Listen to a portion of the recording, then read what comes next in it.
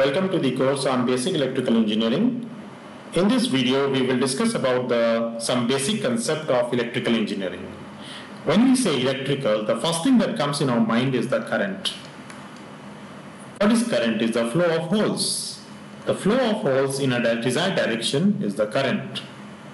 And the flow of holes is obviously, it is opposite to the flow of the electrons. So, the current, the nomenclature is I. Flow of positive charge particle or we can say rate of flow of rate of flow of the positive charge particle. So we can write it as dq by dt. That is what we know I is equal to dq by dt or we can say the total charge passes through the element q divided by the total time will be the current or we can say 1 ampere can be called as 1 coulomb of charge transferred in 1 second. That means 1 coulomb of charge transferred in 1 second. So if the electron, what is the charge of the, what is the value of E, 1 electron? 1 electron is equal to minus 1.602 in 10 to the minus 19 coulomb. So can we convert 1 coulomb is how many numbers of electrons? One elect sorry one coulomb is equal to 6.242 into the power 18 number of electrons. So if this number of electron passes from one point to another point the rate at which these electrons passes through one point to another point we can say dq by dt is the current. So we can say 1 ampere is equal to 1 coulomb the, this number of electron passes from one point to another point. In if in one second this is called 1 ampere. Or we can say I is equal to dq by dt. Sometimes we write I is equal to capital dq by dt. Now we have uh, we can define what is a charge is. Charge is an electrical property of the atomic particle of which matter consists measured in coulombs so we can say any matter, it consists of the atomic particles and that atomic particle has a uh, have a charge. The charge is just the electrical property of the atomic particle and this charge that flows in a unidirectionally to the from the positive to the negative the holes flows from the positive terminal to the negative terminal and the electrons from the negative terminal to the positive terminal. This flow of holes will be called as current. A rate of change of charge. So summarize that current is nothing but rate of flow of charge in a closed circuit is current. Now this current, the rate of charge, we can define the rate of charge flow is known as electric current, that is definition we can write and this charge flow is uh, not always constant. So here it is shown with respect to time, this is a constant value. However, here it is a little bit of up and down is there. So it is not a fixed value. And in the third case, it is alternating. It is up, it is increase and sometimes in a positive, sometimes negative. When it is positive and negative, the flow of charge is like from time it is giving charge is going from 1 to 2 and other time the charge is flowing from 2 to 1. So if the charge is alternating in nature, it is called alternating current. If the charge flows in one direction from 1 to 2 and that to a constant amount of charge is flowing or 1 to 2 always, it is called direct current. If this is changing if there is a uh, from like it is alternating between 5 and like 5.5 and 4.5 then this is unidirectional current and this is also called uh, DC direct current.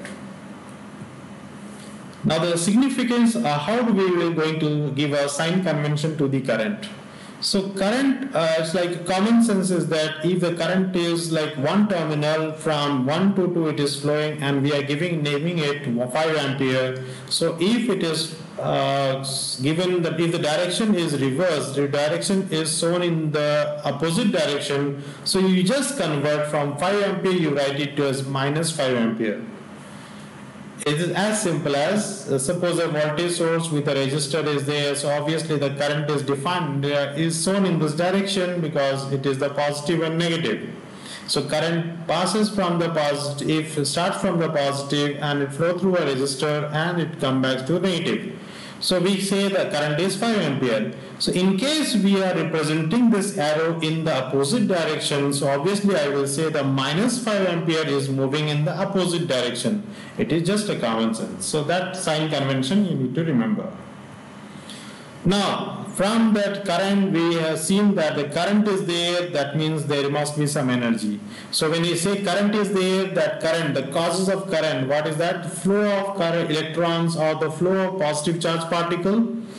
It can or yeah, positive and negative charges are separated. You can say the positive negative charges separated or the, the flow of charge electrons uh, whatever this causes, the cause is the energy. The S energy is uh, is important. That this is the energy that is the cause of the flow of the charge particle. Now, energy per unit charge created by the separation is the voltage. So we need to define the voltage is what energy per unit charge. So one coulomb of charge suppose is there and it is separated like one coulomb of charge separated with plus and minus then the energy that joules energy in joules that is being created that is uh, being created. Because of the separation of one coulomb of charge will be called as volt. So if the energy is being created is 1.2 uh, because of the separation of one coulomb of charge it is say 1.2 volts battery. And if I say it is uh, like 12 uh, joules if one coulomb of charge is separated it is 12 volt battery so I can write uh, like 1 volt is equal to 1 joule per coulomb or 1 newton meter per coulomb.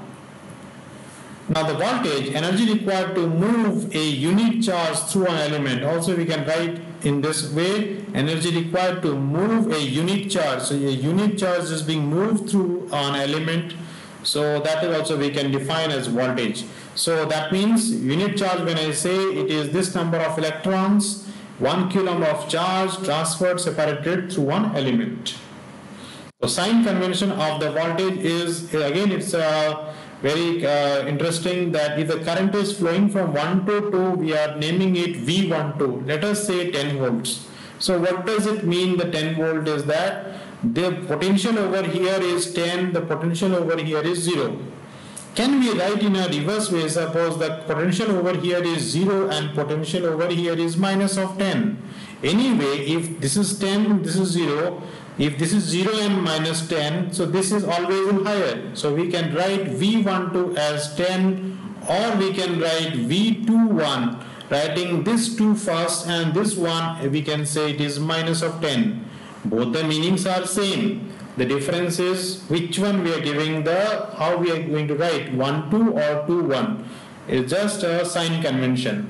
When I say 1 2, the potential of 1 with respect to 2. When I say 2 1, potential of 2 with respect to 1. That is how we have to define the sign convention. Accordingly, these are the simple example. You can have a bulb and you can say like this 1 2 or you can have a voltage you can represent like this and say voltage is V12 the supply voltage is like this with capital V now there comes the power and energy. The power is what? The rate of change of energy. That is obviously the power is rate of change of energy dw by dt. And we can say the power unit is watt. And this is nothing but 1 joules per second. Joules is the energy and time in seconds. So we can write small p, the rate of change of power in terms of dw by dt and we can change this dq, dq we can multiply both ends. We know that energy change with respect to coulomb means one coulomb separated and whatever the energy that is uh, uh, be created because of one coulomb separation then that is called the voltage and the charge at which rate at which the charge flows through this and that is the current. So we can define power is equal to V and I. So here usually we know that power is equal to V and I. Here we just write in a proper way the power is equal to uh, this small means instantaneous value so that is why it is P is equal to V into I. So power con- conventions, uh, this is very other important point is that power is, suppose any element is there, there is two possibilities is there, either it will absorb or it will supply.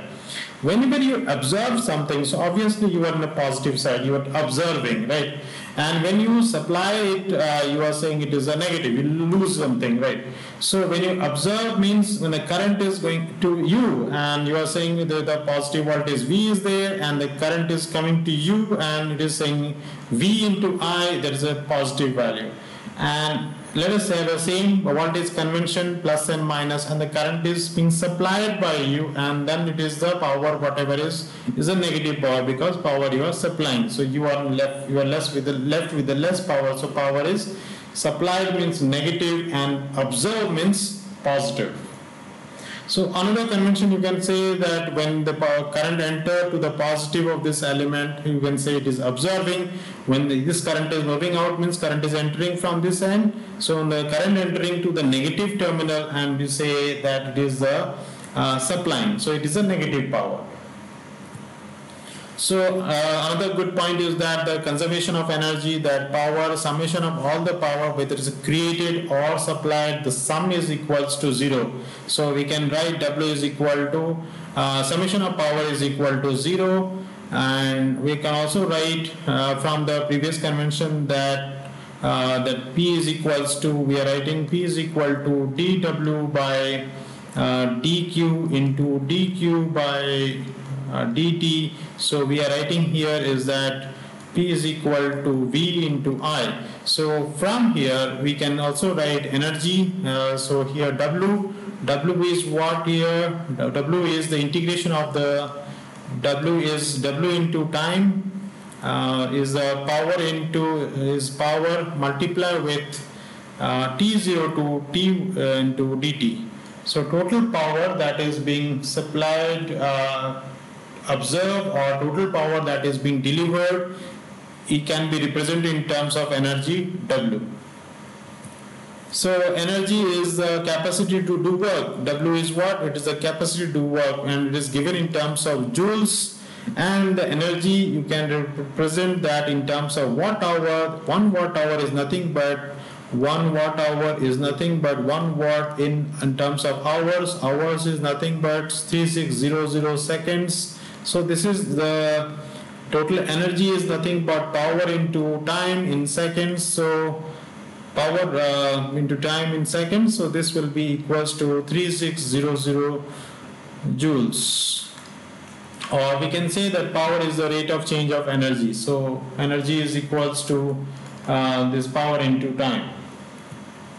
So now we have the elements is there, the active and passive element. Any interconnection of element is called, uh, like when we say electric circuit, uh, electric circuit is what? It is like a combination of lot of elements. You can have elements uh, connected in series, it can be connected in parallel.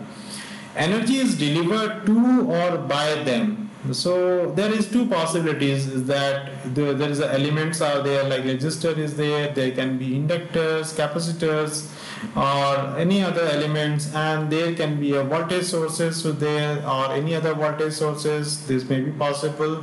So whatever the elements we combine it form electric circuit. So if I take any one of it like a resistor I am taking it, cutting it out so this resistor, if I take this resistor and I say others are there in the like it's like a black box. So if this resistor is taking the current I and resistor is having R, so this is called as a, it is absorbing the power. It is taking the power. So this power is being absorbed. So that is what written a passive element is. It uh, if the total energy delivered to it from the rest of the circuit is always non-negative so total power is obviously positive. So if it is non-negative, then this is a passive element. Passive element in simple sentence, it doesn't have its own energy sources. It may store energy, but it doesn't. It cannot create the energy. So that is what is called a passive element. Rest of the things we will learn in the next session.